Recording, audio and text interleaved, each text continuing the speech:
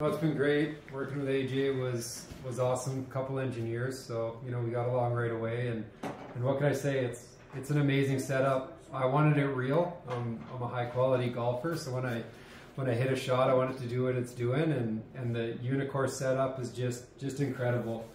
It's uh, blown me away how how real it is, and and uh, yeah, I'm almost down here every night playing. So it's just been it's been a great experience. Thanks.